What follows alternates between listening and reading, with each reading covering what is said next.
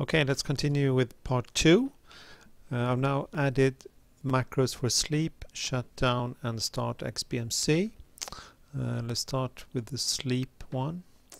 What I want to do is add an action. And I'll choose from the system power management standby.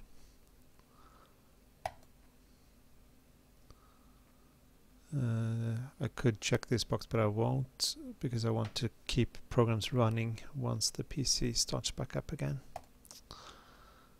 Um, and let's also add some feedback so the user on iRule can see what's going on. So I'll add to the same macro a Python command uh, eg dot globals. Whoops globals dot test equals um, entering sleep state.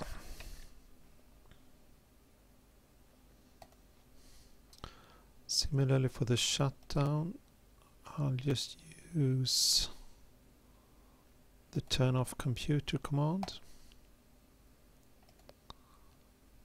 And again add some feedback. Python command. Eg dot globals dot test equals shutting down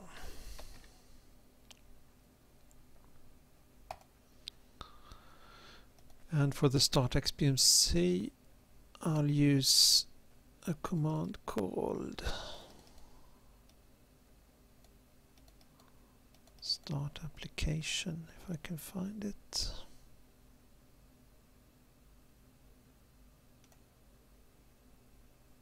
There it is, system start application. Now I don't actually have XBMC installed on this machine, so I'll just type in notepad but obviously you can start any program uh, that's installed on your machine using the same command like that. Uh, you can actually try these macros right from here if you want to by just executing the item. So that should start notepad and it does. Great I'll save and then I'll hit the buttons on the iRule so I can trigger my different events. Like that and then tie the events to the right macro. Like that. And save.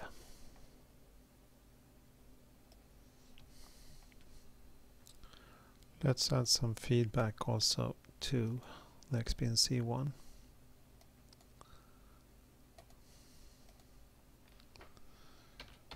eg dot globals dot test equals starting xbmc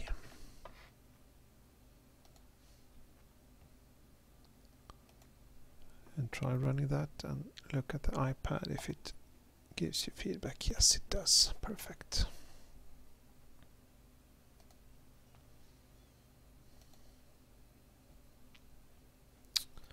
That's pretty much it. Uh, actually, to make it a bit more sophisticated, let's uh, add a couple of more macros, but I'll do that in part 3, where I actually set uh, the state variable not in the macro itself, but let the system generate events as it's shutting down and then starting back up again. Uh, but we'll do that in part 3. See you then.